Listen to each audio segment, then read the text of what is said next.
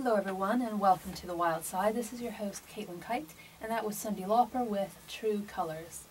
Now on today's show I'm going to delve again into the world of theoretical uh, mathematics and thinking about using math and computer models to think about animal behavior and, and evolution. And I know that this is something that I've been doing quite a lot of recently and I kind of promised myself after last week's show that I wasn't going to do it again, at least for a while.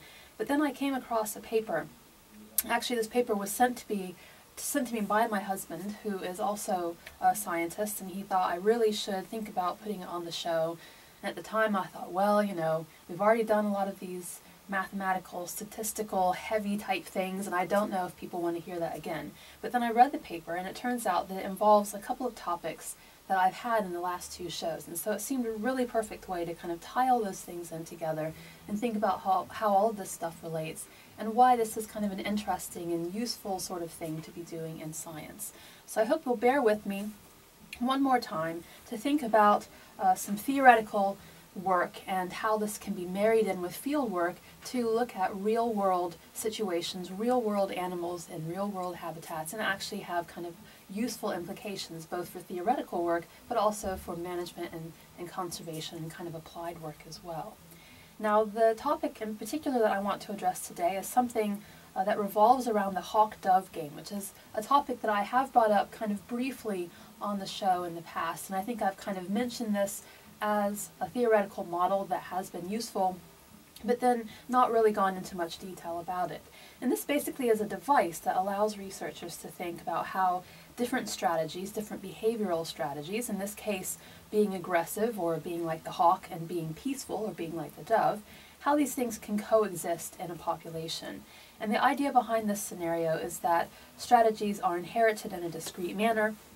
So you're either a hawk or you're a dove, and then uh, you behave in that way, and this impacts then what happens in the habitat, impacts your survival, impacts your success, impacts what happens in the next generation, and then uh, you'll either see the persistence of these two different types of uh, kind of pathways in life, or you'll see one kind of triumphing over another, or maybe you'll just see the complete disappearance of all the animals altogether.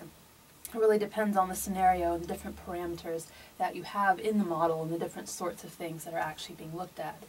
Now this is a really useful thing for understanding um, certain aspects of wild systems, but the thing is it's never actually really been seen in a wild animal population. So it's really nice for theoretical work and thinking about generalities. How might this have happened? How might these things coexist? How might they interact with each other? But then not actually testing that in a real world way.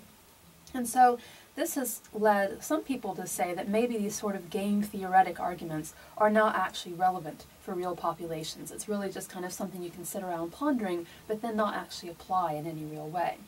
However, the authors of the current paper that I want to talk about today, they have found a group of birds, uh, these are Gouldian finches, that do seem to conform to this dynamic. And in Gouldian finches, there are three different morphs. They've got a, a yellow head, a red head, or a black head. And the, the one with the red head is a bit more aggressive and it's behaviorally dominant. And then there's the more peaceful black morph. And populations of this can really easily be invaded by the reds because the reds are so much more aggressive. So here you've got your hawks and your doves.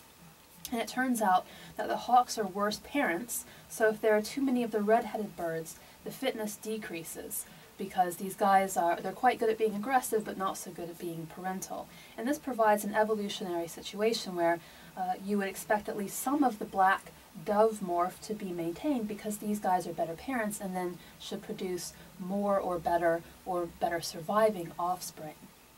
So this is kind of the perfect scenario to potentially see whether these hawk-dove dynamics actually can be found in the real world, and if they can, uh, what do kind of the modeled simulations look like relative to what we see out in the wild, and how could these things inform each other?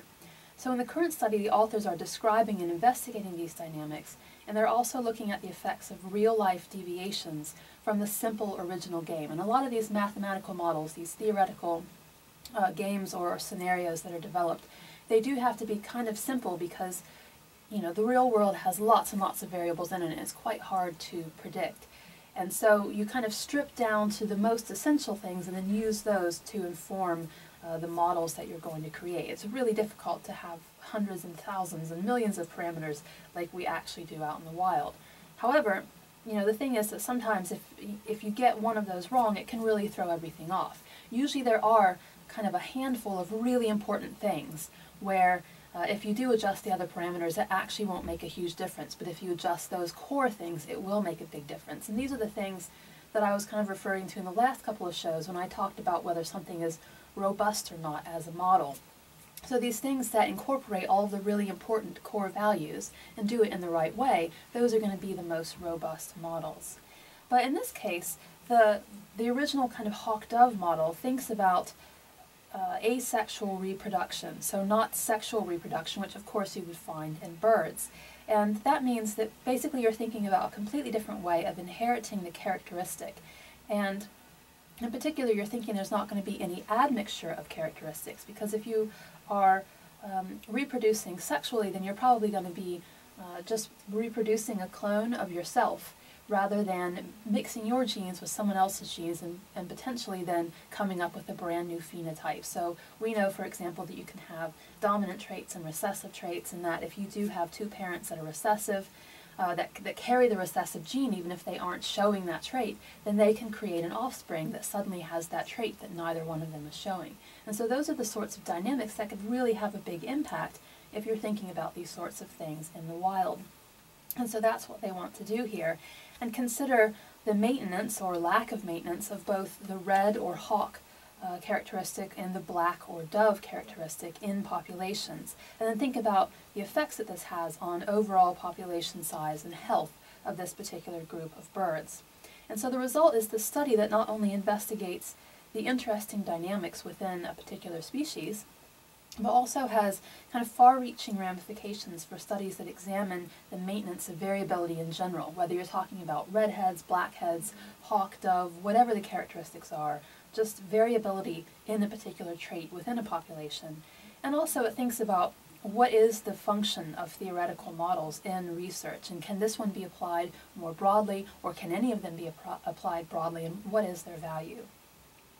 So that is kind of a, a, summary of everything that's together in this manuscript. Now I want to actually walk you through each of the major sections as per usual. So I'll start with the introduction in which the authors give some background on the hawk-dove model and also on the Gouldian finch that was studied here.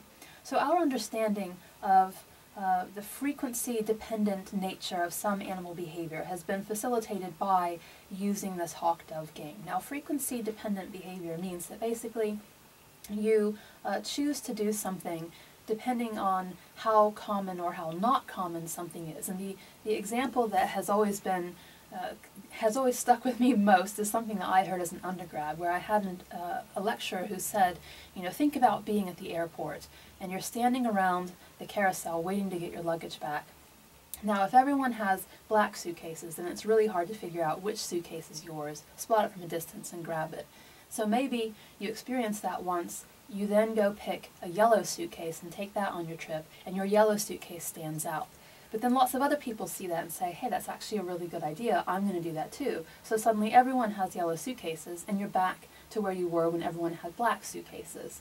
So it's this kind of uh, idea that you're going to do something based on how much someone else is doing it in the population, and, and that the extent to which others are doing it is actually what makes it a useful thing or not. Now sometimes this might be something that you are actively choosing to do, so in the case of the suitcases, or it might be something that just kind of happens uh, because there's maybe a, a nature or, or, nurture kind of thing going on. So that it might be a genetic thing, it might be environmentally controlled, you know, it might just happen on its own without your kind of actively regulating it. But whatever the case might be, you can have this um, variation in how much something happens relative to how much you are seeing it elsewhere in the population.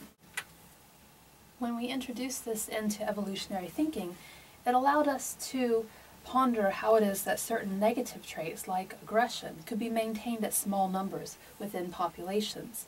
And it also provided information on how and why certain behavioral polymorphisms exist, so the existence of multiple ways to express a certain trait. And there are two defining features of the hawk-dove game. The first is that when hawks are rare, they gain accesses to resource sorry, they gain access to resources easily, and that's because they're able to overwhelm doves. And the other is that hawks suffer negative fitness consequences when they're interacting with each other in populations where they've become too common. So basically, in the first scenario, you've got the hawks overpowering the more weak doves, and then in the second scenario, you've got multiple hawks all kind of spending all of their time fighting each other, and so that ends up actually being uh, not so great for their health overall and their fitness. Now, to date, as I said earlier, there's been almost no empirical evidence of this in the wild in terms of finding, you know, actual discrete morphs where you've got either a hawk or a dove, um, finding genetic inheritance of relevant strategies, and kind of finding a system where all of the above exist at once. But as I suggested, the Gouldian finch seems to be a really good potential species in which this is found. So the current work focused on the Gouldian finch, which is an endangered and declining bird species from northern Australia, and there are only about 2,500 individuals left in the wild. Now, as I said earlier, these guys have three different color morphs. You've got yellow, red, and black. And the yellow one is really infrequent, so it's about 1 in 2,000 birds. So the ones that are really important in terms of thinking about population dynamics and the link between the color, the behavior, and then the overall kind of changes to the population numbers and health, those are the black and the red ones. Now birds with different colors also have different genes and they express these different behaviors. So they really are very fundamentally different birds. The head color allele is found on the Z chromosome and I should kind of take a pause to mention that birds are ZW whereas we are XY. So the Z is the one that's larger and with more genes in kind of the same way that the X chromosome functions in humans. But in this case, uh, the ZZ is not a female, it's actually a male, and the females are ZW. So they have kind of a similar system to ours, except that whether you are a female or a male corresponds not only to different letters, but whether you have the same of those chromosomes or one, um, one of each different chromosome. And I should probably also mention, just as a reminder, in case you don't think about genetics every day, uh, that alleles are different versions of a gene. So this is thinking about whether you have the dominant one or the recessive one uh, or those kind of variations. So the red individuals in this case, as I mentioned earlier, are the dominant ones, and they also have higher levels of testosterone and corticosterone in response to socially competitive environments. So these are the hawks, which can gain easy access to critical resources.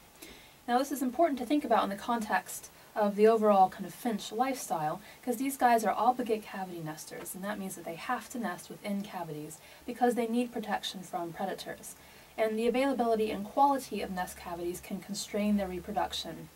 So greater access to these resources, which is what's going to be available to the more aggressive red-headed individuals, this uh, could potentially allow them to be more reproductively successful. Potentially. So I'll get back to that in a second. Now I want to talk about the genes for a moment as well. So we can think about redness as a dominant trait.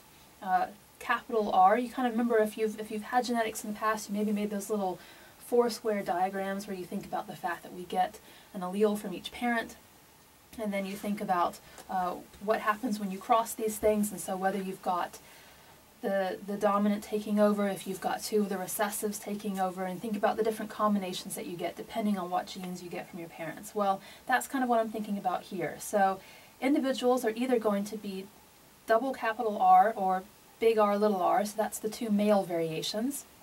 If you're going to be uh, redness, have, a, have redness, or you're going to have females that are capital R because they have only got one of those chromosomes. So uh, whichever one they have, that's, that's what they express. And then the black individuals are going to be double little r if you're male, or little r if you're female. And of course, you don't have to stock this away in your head, it's just these are the sorts of things that are going to be entered into the model so that they can think about what happens when these birds breed with each other, what young are they going to, to uh, produce, and then how are those individuals going to go on and behave depending on what genes they have inherited and what trait they then express. Now we know that a number of reproductive traits vary depending on whether birds mate with their own color type or birds of another color. So just to go back to that gene thing for a second, if you have a male that is big R, big R, and he mates with a female who has little r, then the young males that they produce are going to have a big R and a little r, and they're going to be uh, just as dominant, they're going to be just as aggressive because they've gotten that from their father. If you've got uh, same thing actually, if you've got males that have the two little r's and a female that has a big R, again, you're still going to get that aggressive dominant trait. But then if you've got uh, the home, heterozygous, sorry I can't talk again, heterozygous males, the big R, little r, and you've got uh, a little r female, then suddenly they could be producing uh, two little r males, and those guys would be quite different. So depending on which individuals are mating with which, you can have parents producing offspring that have their own trait, or you could be having parents that produce offspring with another trait, depending on what their partner has and whether they've got a dominant or a recessive as the second chromosome, or in the case of females, they don't have that second chromosome at all. So suddenly it becomes very complicated. And that's what's quite interesting in these Gouldian finches, because actually we know that they do mate in a very selective way, and that's related to the color variation. So we know that uh, when birds uh, are choosing their mates, that this can impact the size of the clutch, the survival of the offspring, and generally then the fitness of the adults. And this uh, basically, if you harvest all these data in the wild and look at what type of, male is mating with what type of female and vice versa, then what they find is that actually there seem to be signs of genetic incompatibilities when the parents are a mixed pair. So if you've got a red female with a black male or a red male with a black female.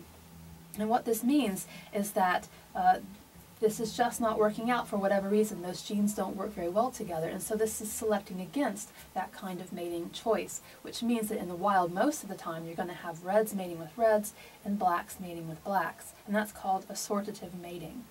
Now, this is quite important, obviously, for uh, influencing the population dynamics, not just of color, but also of the behavior of the individuals.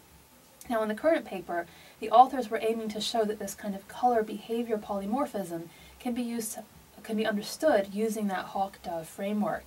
And further, in addition, they wanted to add in this real-life biological detail, so replacing the traditional asexual hawk-dove model with the sexual model that has all these complications about mate choice and dominance and recessiveness of certain genes and all these other sorts of real dynamics that they have from the wild in order to see how this changes how much the game is able to uh, provide information about a certain population and how much it's then able to predict. Does the prediction get even better and even closer to reality? So here we know that red finches have priority access to suitable tree cavities, these things that are essential for breeding. We also know that the breeding success of nesting pairs, where the male is red, declines with an increasing proportion of reds in the local population. So that's that whole tension between um, the number of hawks you have and the success of your tactic. and this is because they have this increased aggression. So they have a lot of testosterone. They also have a lot of stress, so the corticosterone. They have compromised health. And there's also this reduction in paternal care by red adults. So we know all of this actually from doing fieldwork previous to the study. So they can put all this into the model, and ultimately what they were able to show was that this has a negative population level consequence, uh, but it's not negative enough to completely remove the red morph from the population because whenever the red morph is rare, it's able to get access, priority access to the cavity and then breed quite efficiently. So it's a really interesting dynamic where despite the fact that in many ways it can be kind of bad to be red in some occasions, it also can be good enough that that is kept in the population. Now I'll give you a bit of a break for a moment. I'll play a song for you and then we'll come back and actually think about the model and think about how they ran the analyses in order to look into this in more detail.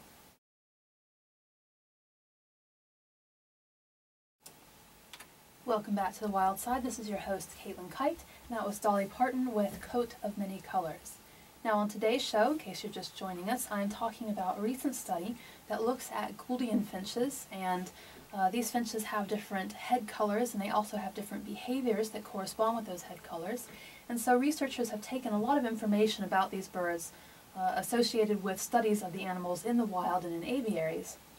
And they've then used that to help create biological models in order to figure out how useful is this thing called the hawk-dove game, which is a theoretical game that can be used to think about uh, kind of how often animals choose to do certain behaviors rather than other behaviors relative to other animals in the population that have those behaviors. and also to think about kind of just maintaining overall variability in traits within a population. So they were interested in kind of testing the usefulness of this model because this seemed to be potentially one of the first cases in the wild where the tenets of the model actually held up. And then they wanted to use that to see if they could extract kind of actually useful, applicable data about the animals. So what were the variables that they included in this model? Well, because the finches are so rare, they first of all wanted to include some information about the stochastic variation in the local population, in particular in the local population sizes. So these sizes can be quite small. As I said, there are only about 2,500 of these birds out in the wild, so some of the little pockets of animals can actually be quite little. And they also wanted to show variations in uh, morph ratios, because obviously if you've got only a few individuals and then there's some kind of uh, sudden environmental change that takes away half of you. If you've only got five individuals and suddenly now you've only got a couple, then you know you are more likely to suddenly have all blacks or all reds simply by chance because it's that event has killed off all the variation in your population. So this is accounting for the fact that even these minor environmental events can lead to large fluctuations in population dynamics because they are removing these uh, significant numbers or proportions of birds of a certain type of morph. Now in order to account for this, they use what's called an individual-based model, and this is something I referred to last week uh, when I was thinking about the modeling paper from that, uh, the vultures that were using the sky networks. So if what they do is they kind of say that the computer needs to keep track of a bunch of individuals that each have their own parameters, that each kind of go through the time steps doing whatever they should do, acting however uh, a computer-based bird should act, and then they collectively at the end of all this count up all the different things that they're seeing. So all of the remaining individuals that are still in that model population at the end, they look to kind of see what state they're in or what they're doing or whatever thing is of interest.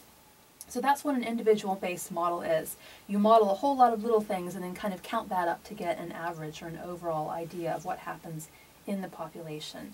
And in this case, it, it was tracking the fate of each individual on an annual basis until it died. So looking at it starting off, breeding for however many seasons, and then ultimately leaving the population again.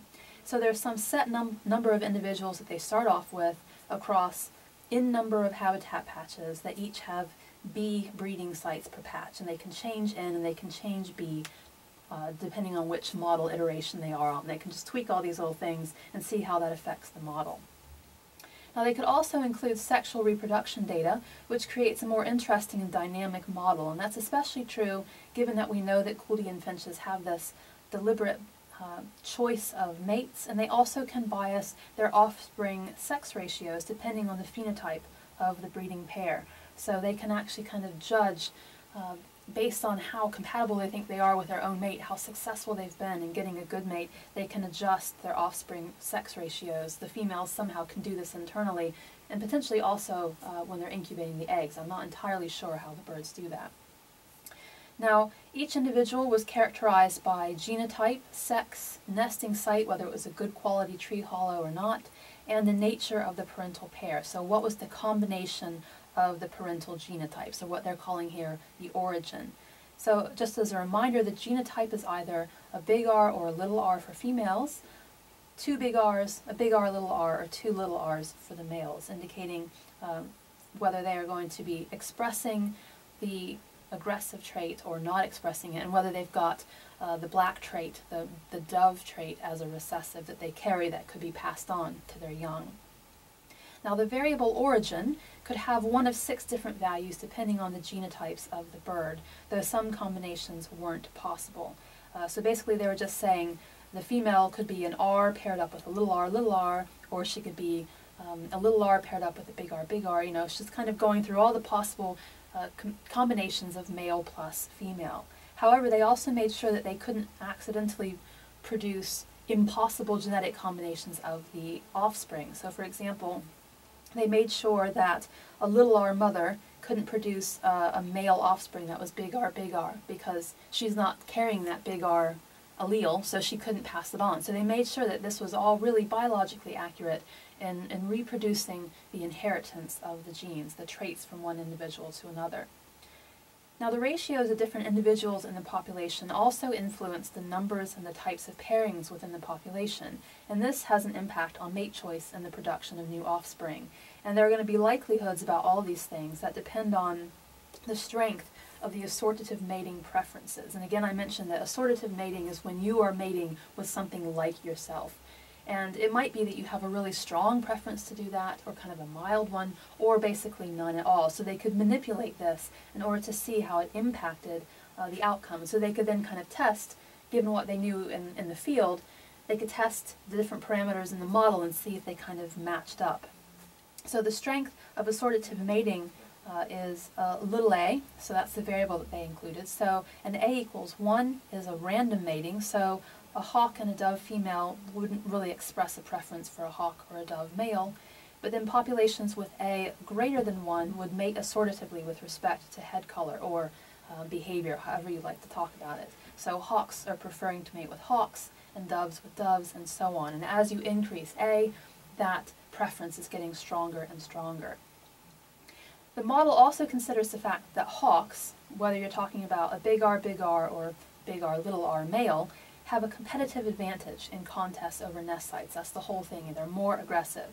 But they also have a declining breeding success as hawk density increases because they're all fighting with each other. They all have stress levels. They're all spending too much time away from the nest and not with their young. So we know from field research that they aren't doing quite as well. So to reflect this in the model, they have a parameter called uh, K.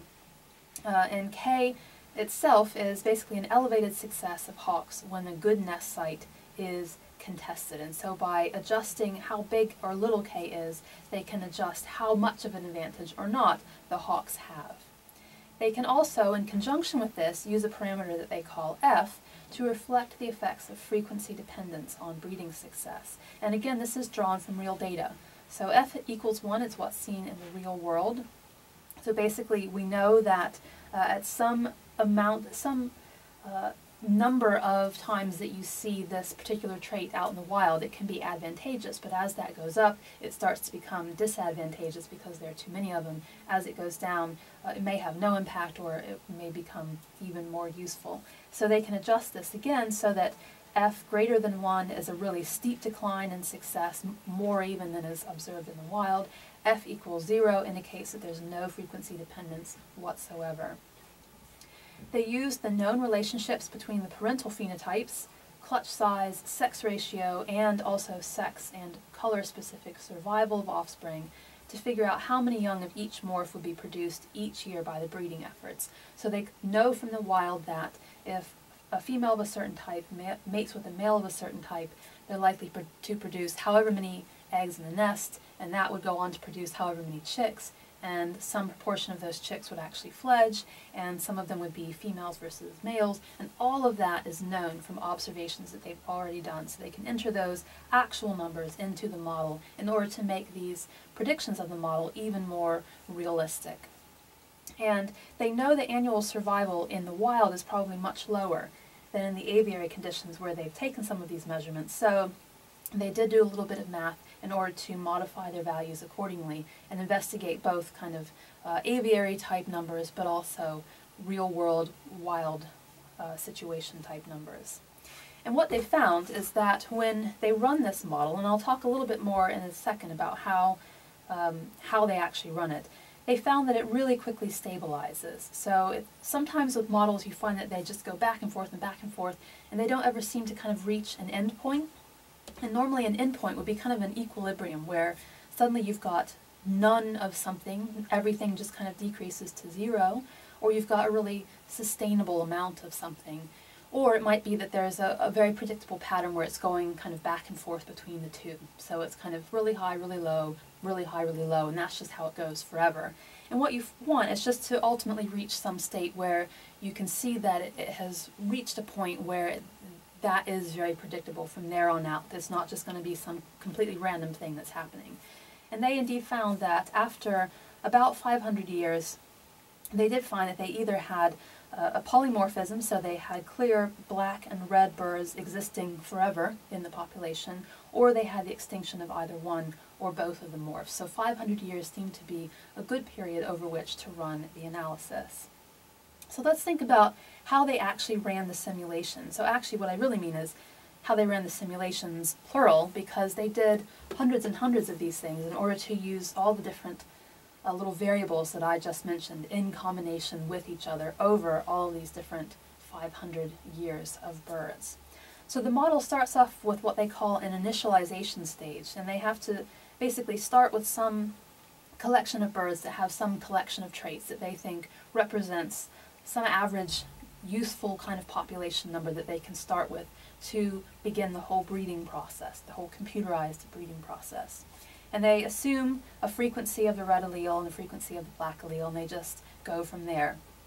So they've got uh, a selection of females and males with each of their color alleles. Uh, so again, you're going to have one of the alleles for the females, two for the males because of which chromosomes they have. Then these are going to be randomly chosen as either uh, a big R or a little r, depending on kind of a, a distribution of these things in some real world population. None of the individuals start off with a nest, so they all have to first get a nest, get a mate, and then start breeding.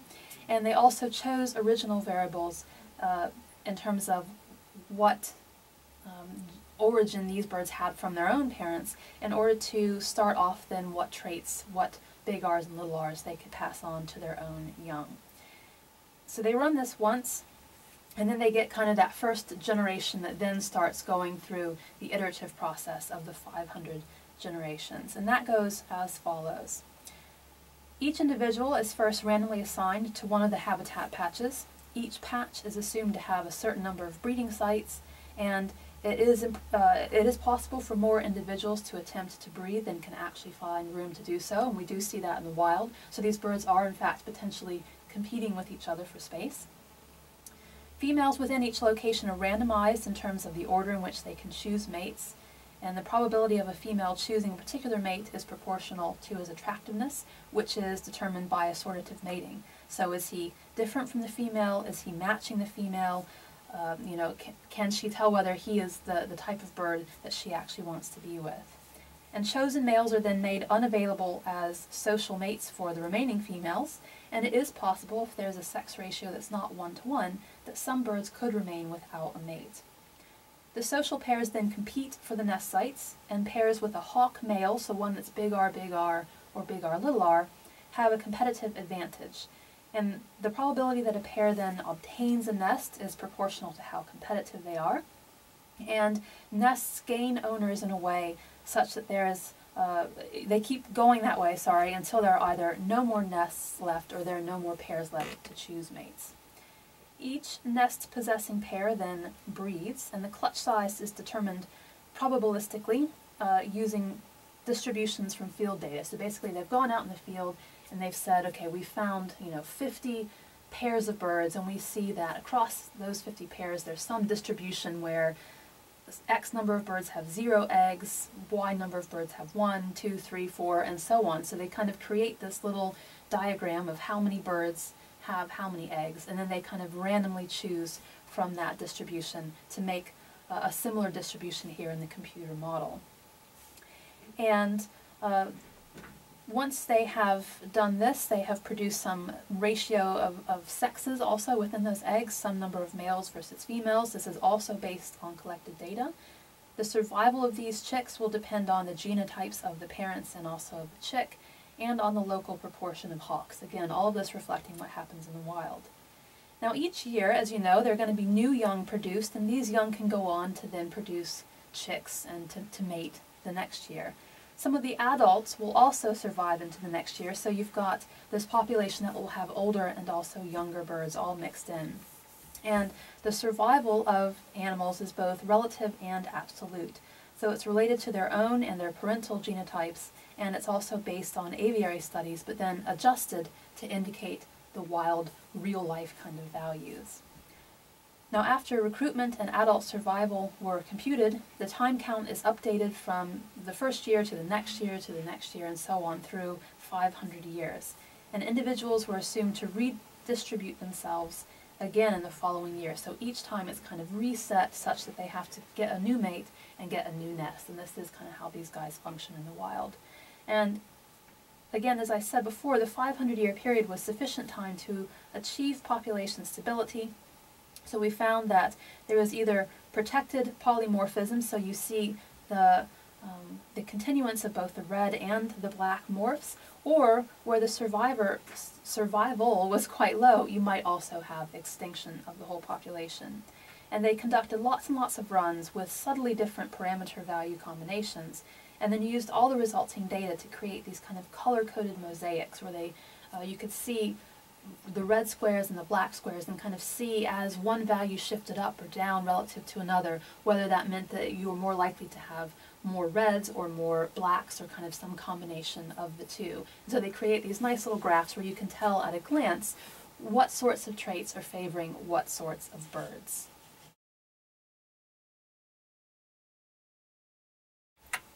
Welcome back to the Wild Side. This is your host, Caitlin Kight, and that is OneRepublic with Life in Color.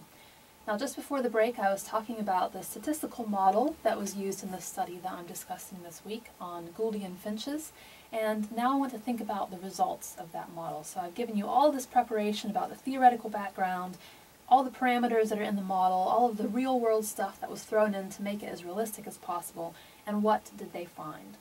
Well, first of all, they found that the degree of assortative mating is a really critical factor in the continued persistence of both morphs. So when you remove assortative mating, the polymorphism, the distinct uh, black versus red uh, phenotypes, was not maintained, no matter what the other parameter values were. So clearly, it's really important for females to prefer males that look like themselves, and, and vice versa. And the polymorphism was also never maintained when the hawks didn't have frequency-dependent breeding success. So clearly, it, it is quite also important um, that you are more successful than others at, at low densities of your trait, but then kind of uh, constrained and held back a little bit when there are lots expressing your same trait. And cumulatively, this means that for the polymorphism to be protected and to be maintained in the population over time, there has to be a decline in hawk reproductive success with hawk frequency and also assortative mating. And this is a combination of features that are found in the original game, so that decline in reproductive success as your frequency goes up, and also uh, a, a, feature that's been introduced here in a hawk dove model for the first time, and that's that second trait where they've got sexual mating rather than asexual reproduction. Now, successful breeding requires investment in contests over nest sites as well as parenting expenditures. And so, uh, improvements in parenting ability benefit populations more than increased investment in a competitive trait. And as a result of this, we should expect that investment in competition at the expense of parenting should have negative population consequences. So what I'm talking about here is expression of the hawk trait or the, the red-headed trait. And this is in fact visible in the model which indicates that the finches need more habitat to reach a population size when coexisting as a polymorphism than in cases where they've got only blacks, uh, only the, the kind of dove-style birds that are not wasting their resources by fighting over them. Now extinctions should result from severe habitat destruction and also low survival. And this is um, something that they found in the models that they think could be quite useful in the real world because you could just go out and do a quick census to see what birds you've got and then kind of yield some information about the population health. And interestingly, they found that extinction and population declines could occur even where certain parameters look quite healthy. So for example, there were places, there were certain models where when annual survival is really high, both of the polymorphisms still went extinct and the population vanished. However, they also found that when survival is quite low, they had persistence at length of uh, the black-headed populations of birds. So extinction doesn't necessarily occur because of problems with the habitat or of survival, but because of the different morph frequencies and how these different birds interact with each other. So where hawks take over nest sites and breed successfully, but not successfully enough to maintain the productivity of the population, that's really going to be a problem and potentially make certain populations vanish altogether. So overall what they were saying, uh, what they were seeing from these models is that hawk-dove persistence is possible, but only where hawk parenting is better than currently known to be the case in the wild. And so they tended to find that you would have populations that would kind of go um, towards one direction or another, but not have kind of both of those things hanging out in the same population for a really long period of time.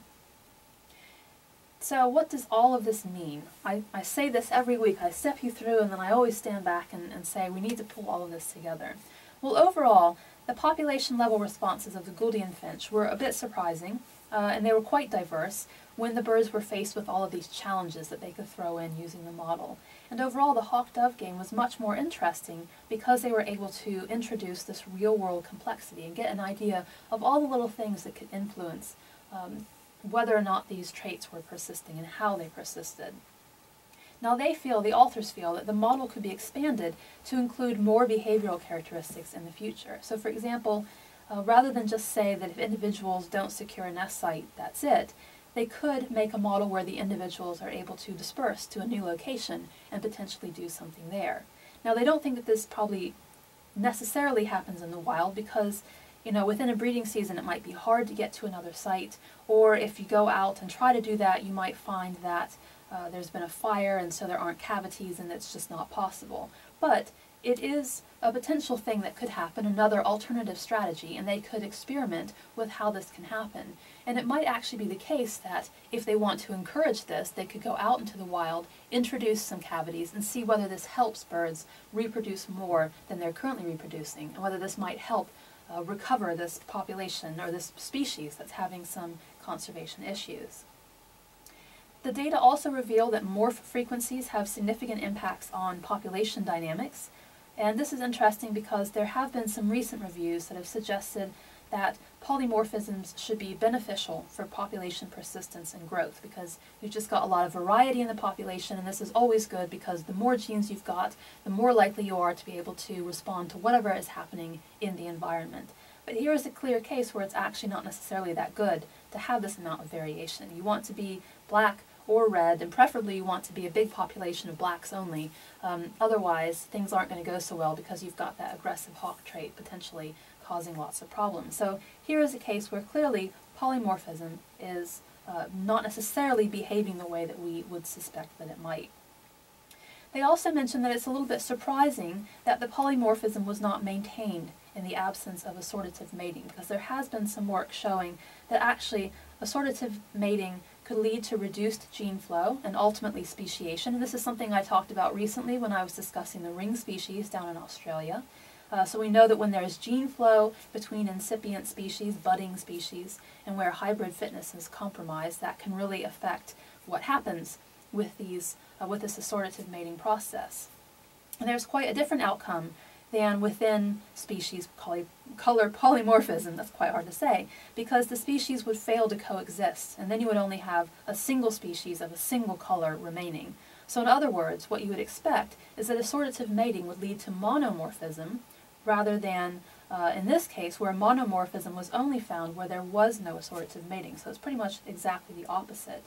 And they feel that the discrepancy here can be explained by time scales. So the previous models that were looking at this were thinking over quite long um, time scales where you've got selection ha happening and acting on assortative mating and then causing consequent evolutionary changes that might then affect whether or not you're continuing to mate assortatively. But here, they just kind of picked uh, an assortative mating value and stuck with it. And so this is more kind of a short-term sort of thing. And these are dynamics that you could potentially throw into a further model that you might then run for more than uh, only 500 years. Now this model only looks, uh, it's looking at positive frequency dependence. So whichever morph is initially common the individuals enjoy elevated reproductive success under random mating because usually they're mating with their own color and they're avoiding genetic incompatibility.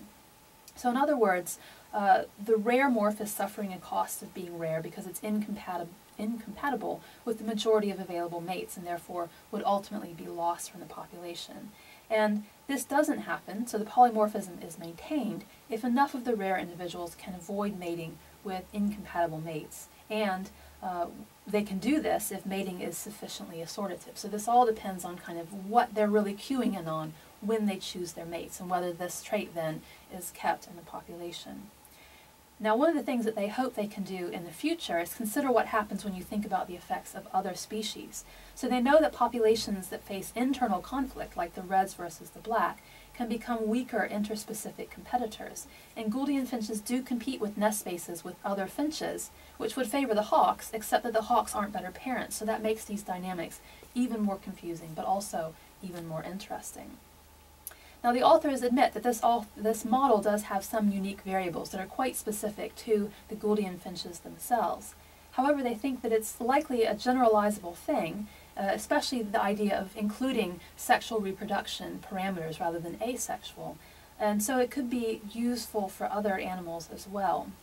And given that it's not really possible to do experimental work on Gouldian finches because of the conservation status, it actually could be really useful to find another species on which to do modeling like this, and then do some actual experiments where you could tweak a few values and let the birds breed and see how uh, the resulting phenotypes and behaviors match up with the model predictions. So then you could actually mesh the theory with the experimental stuff, and that is really where you've got the most powerful science being done, where you can create a real prediction and then go out and test it and see whether things live up to what you expect or not.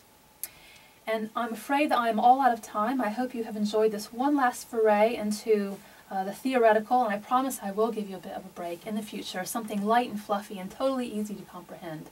Uh, but for now, I hope you enjoyed that, and I will talk to you next week.